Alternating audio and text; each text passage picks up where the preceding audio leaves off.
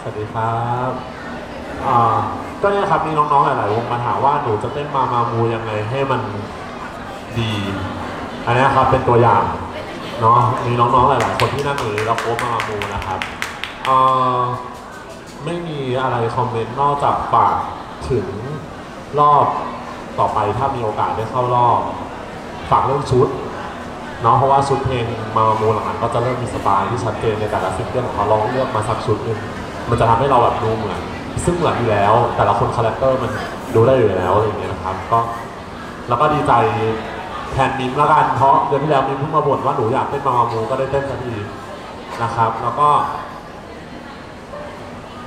รู้สึกชอบ character แต่ละคนแกะ character ของแต่ละศิลปินที่ได้ cover มาได้ดีมาก